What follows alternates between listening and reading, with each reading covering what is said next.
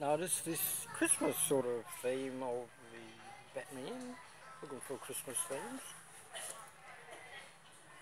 Um, I'm just noticing these Christmas themes away. Well, of course you can get this Christmas theme. And the window is perfect for Hogwarts. And yeah, I've got to get some of these Christmas as well. And so I've got enough of the green ones.